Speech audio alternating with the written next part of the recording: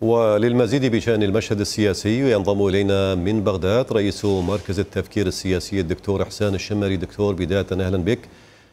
السيناريوهات المتوقعة لما بعد زيارة الأربعينية الكل ينتظر هذه الزيارة. هل ستنجح القيادات السيادات السياسية بتشكيل حكومة يرضى عنها الصدر تفضل.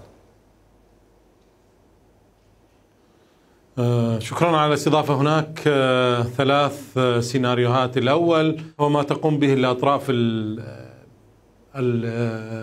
المتبقية يعني في العملية السياسية بمفاوضات تشكيل الحكومة. وهذه المفاوضات يمكن أن تنتج إذا ما توفرت أو امتلكت الثلثي أعضاء مجلس النواب على مستوى النص الدستوري.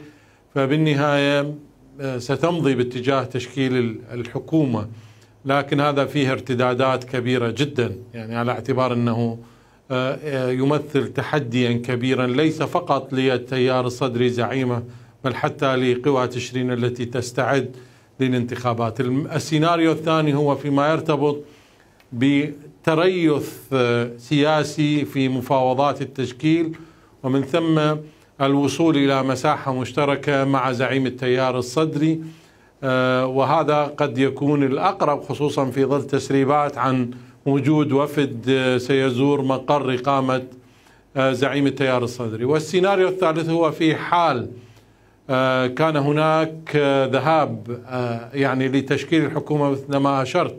في السيناريو الأول بعيدا عن يعني وجود لحظة توافق ف عملية التصعيد ستكون حاضرة من وجهة نظري تظاهرات عزل البرلمان وحتى آه، عصيان مدني إذا ما شكلت الحكومة من قبل الإطار التنسيقي.